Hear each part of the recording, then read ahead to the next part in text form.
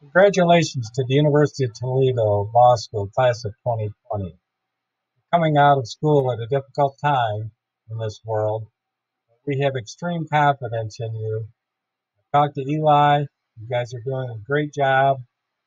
I know some of you myself. Give credit to your profession. Congratulations. Thank you for all the hard work. Congratulations.